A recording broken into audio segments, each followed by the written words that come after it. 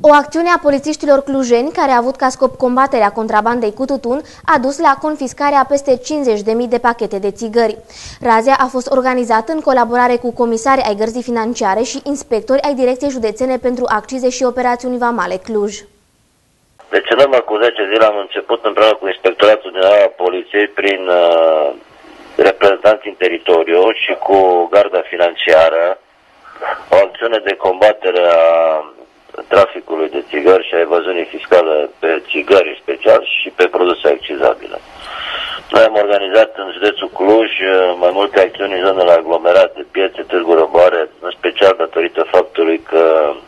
după cum știți, Clujul nu este o zonă în care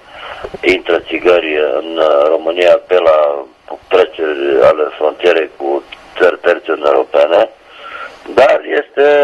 o zonă în care noi am constatat că se mai comercializează țigări uh, fără, fără timbru, nefiscalizate. Și atunci, în urma acțiunilor realizate de acest gen în ultima săptămână,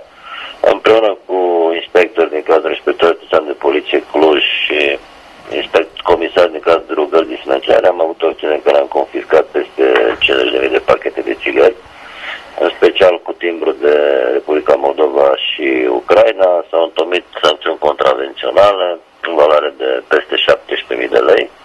S-au confiscat mărfurile, iar uh, una dintre persoane s-a